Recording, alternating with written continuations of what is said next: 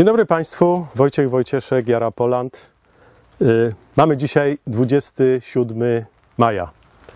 Jesteśmy w tunelu i widzimy, zbieramy truskawki. Myślę, że to nie nowość, bo już od pewnego czasu są, no ale y, obecnie jesteśmy w odmianie flair. Odmianie ocenianej jako bardzo dobrej, smakowo, jednocześnie wizualnie też fajnej, jak i konsystencji.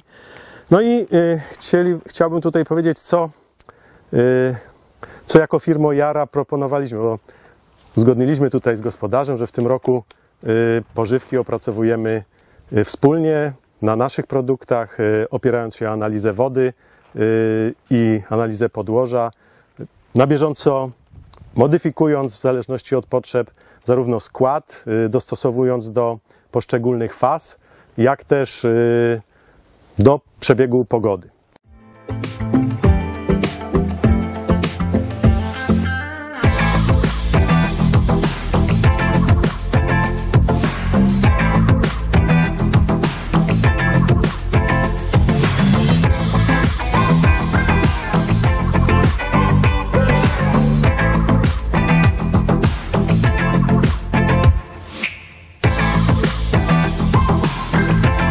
Pożywka była oparta o analizę wody, ale też y, z wykorzystaniem produktów y, z naszej półki.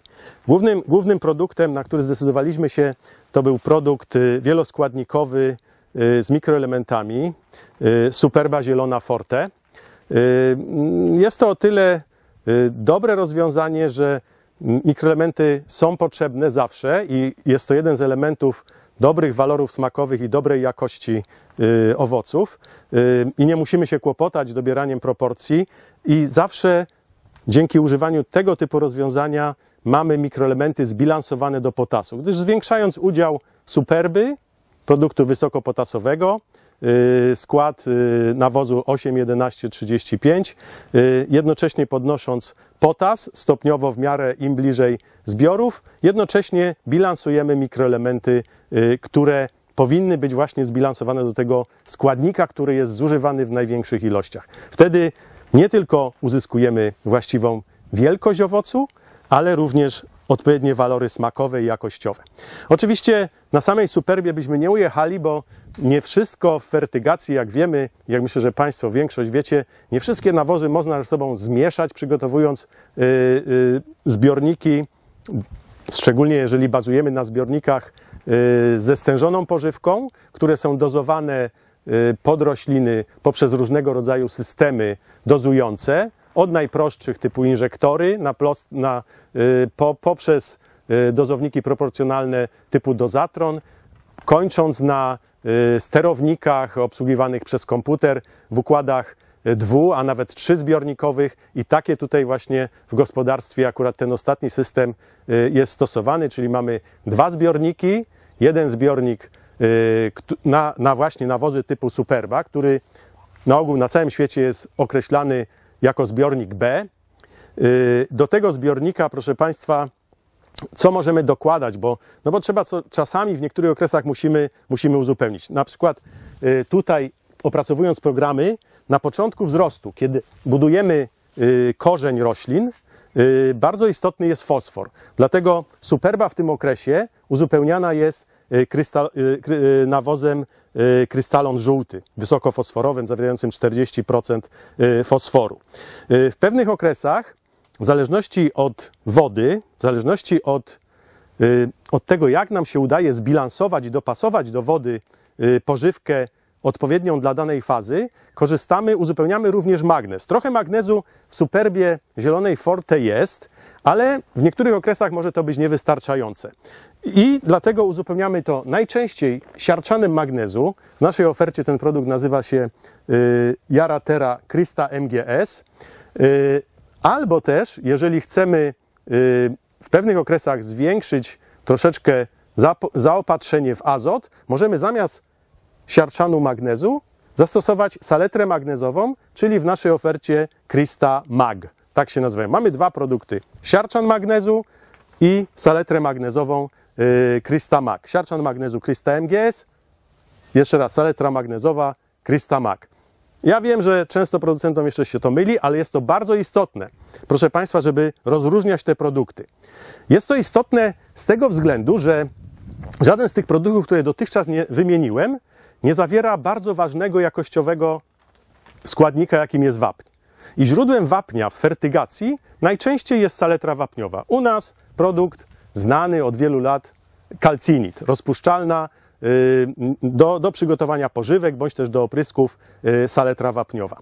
Y, chciałem tak przy okazji, jak już tutaj mówimy, zauważyli może Państwo na, na opakowaniach, że te produkty mają taki nadpisek, znane Państwu Krystalon czy, czy Krysta MGS, teraz jest napis Jaratera. No jest to związane z tym, że wszystkie nasze produkty stopniowo y, dostają tą nazwę. Wszystkie produkty, które nadają się do fertygacji, do używania y, przez y, rozpuszczanie w wodzie i podawanie przez linie kroplujące, to wszystko jest zebrane w grupie produktów Jaratera. Także tak jak tutaj widać, wszystkie te produkty właśnie ten ten tytuł taki, taki mają. Y, wracając natomiast do y, naszej saletry wapniowej i do tych zbiorników do przygotowania pożywek. Y, proszę Państwa, tak jak powiedziałem, tu jest układ trzyzbiornikowy. Jeden zbiornik to jest ten zbiornik B, do którego dajemy superbę i do tej superby najczęściej możemy dodać siarczan możemy dodać krystalon żółty z fosforem, możemy dodać siarczan magnezu. Natomiast żadnego z tych nawozów nie możemy zmieszać z saletrą wapniową, z kalcinitem. Dlatego albo, jeżeli mamy tylko jeden zbiornik na prostych, w prostych rozwiązaniach, musimy stosować to na zmianę, przygotowując, jeszcze raz mówię, roztwory stężone. Albo też przynajmniej mieć układ dwuzbiornikowy, który pozwoli przygotować roztwór stężony z kalcinitem w zbiorniku A, bo znowuż mówię, na całym świecie praktycznie zawsze mówi się tam, gdzie jest wapń, gdzie seletra wapniowa, to jest zbiornik A, gdzie są inne nawozy, szczególnie fosforany i siarczany, to jest zbiornik B. I do zbiornika B, jeszcze raz, superba, krystalony, siarczan magnezu, siarczan potasu, jeżeli byśmy stosowali, to wszystko do zbiornika B. Nie możemy tego mieszać y, w warunkach stężonych y, z saletrą wapniową, gdyż wytrącą nam się związki nierozpuszczalne, jakimi są fosforany wapnia, czy też siarczany wapnia, no i opadną na dno zbiornika i nie pójdą pod rośliny, bo rośliny tylko mogą pobierać to, co się w pełni rozpuszcza.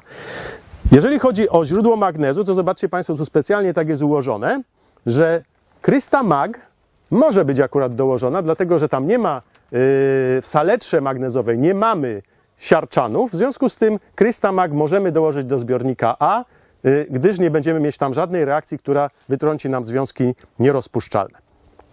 Proszę Państwa, no i tak jak mówię, bazując na tych, tych nawozach, tych podstawowych, które tutaj wymieniłem, możemy komponować pożywki, dopasowując je w zależności od potrzeb dla danej fazy, czyli krystalon żółty na początek, kiedy budujemy korzeń, kiedy budujemy liście, potrzeba więcej magnezu, żeby budować chlorofil, dodajemy albo yy, siarczanu magnezu, kiedy rośliny są powiedzmy dobrze rosną i yy, wytwarzają liście prawidłowo, a jak chcemy bardziej wegetatywnie je budować, możemy dodać w postaci saletry magnezowej, czyli krystamag. Tutaj jeszcze stoją u moich stóp dwa produkty, które również yy, jeden z nich był używany na, na, na tej plantacji przy komponowaniu pożywek. Jest to produkt Niektórym może znany dawno jako y, Antiblock Mineral, obecnie on jest pod nazwą Yaratera Super FK30. Y, jest to roztwór skoncentrowanych, specjalnych polifosforanów, którego niewielką ilość dodajemy do pożywki na, na każdym etapie, a szczególnie właśnie w okresie budowania korzeni, czy też kwitnienia, kiedy fosfor jest istotny, czy też w okresach, kiedy jest y, chłodniej i, i powiedzmy rośliny w ogóle gorzej y, pobierają fosfor, y, bądź jakieś inne są y, trudności, za wysokie pH, to wtedy bardzo istotne jest, żeby dodawać właśnie część fosforu w takiej postaci, jakiej, jakiej jest w Super FK30. Co nam to daje, proszę Państwa? Okazuje się, że to nie tylko ten, kiedyś powiedziałem, nazywał się ten produkt Antiblock Mineral, czyli jakie było jego działanie. On przeciwdziałał wytrącaniu się wapnia z fosforem w liniach kroplujących. No bo na ogół mamy dwa zbiorniki A i B, ale potem w linii to idzie razem. I jeżeli y, to pH y, w roztworze po, po jakimś czasie nie będzie też y, właściwie zakwaszane, to może dojść do wytrącania fosforanu wapnia w liniach kroplujących, powodując ich zapychanie. Dlatego też albo stosujemy, powiedzmy, zbiornik C z dodawaniem kwasu, wtedy zakwaszamy całą pożywkę i trochę ograniczamy to wytrącanie się różnych związków fosforanu wapnia, chociażby y, właśnie w, liniach kroplujących. Y, Powodujemy też, że nie rośnie nam za bardzo pH w takich układach, jak uprawiamy coś w tunelach, kiedy nie ma opadów deszczu i często woda, proszę Państwa, która używana jest do komponowania pożywek, ma pH dosyć wysokie i musimy też zakwaszać, żeby podawać y, pożywkę o pH około między 5,5 a 6. Bo inaczej, jeżeli nam będzie, jeżeli byśmy nie zakwaszali tej wody, szczególnie w uprawach tunelowych, gdzie nie ma przemywania za pomocą deszczu, będziemy mieli stopniowy wzrost odczynu, dochodzący do takich poziomów, kiedy będzie utrudnione pobieranie niektórych składników. Dlatego też dodawanie kwasu jest bardzo istotne. Natomiast Polifosforany oprócz tego, że zapobiegają temu wytrącaniu y, w liniach kroplujących, to mają to do siebie. Co to oznacza, że się nie wytrąca? To znaczy, że ten fosfor w pełni trafia do roślin, że ten wapń w pełni, tak, y, który podajemy, też trafia. Oprócz tego same poli- polifosforany, jak wynika z naszych badań na wielu gatunkach przeprowadzonych, budują dużo drobnych korzeni. Pamiętajmy zaś, że miejsce gdzie pobierany jest wapń przez korzeń, to jest końcówka każdego korzenia. Czyli im więcej drobnych korzeni wy, wy, zbudujemy, tym lepsze mamy odżywienie części nadziemnych wapniem. A dobre odżywienie części nadziemnych, w tym owoców, to jest lepsza jakość, to jest lepsza trwałość pozbiorcza i warto, warto tutaj o to zadbać. Dla tych wszystkich, którzy yy, no mają plantacje na tyle duże, żeby no, kupować produkt pod tytułem Super FK30, który jest dostępny w opakowaniach 20-litrowych. Nadajemy tego y, około 100 ml y, na 1000 litrów y, wody płynącej. No to może, może to być rozwiązanie no, zbyt, zbyt kosztowne i nie każdy, nie każdy będzie chciał kupować. Mamy rozwiązanie też w pewien sposób zastępcze, żeby nie bawić się z płynami.